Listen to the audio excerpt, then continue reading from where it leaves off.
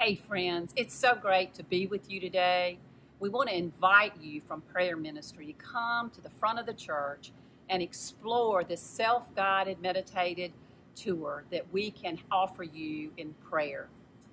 We have worked together with our pastors, and we're so thankful for their input of reflecting the summer sermon series.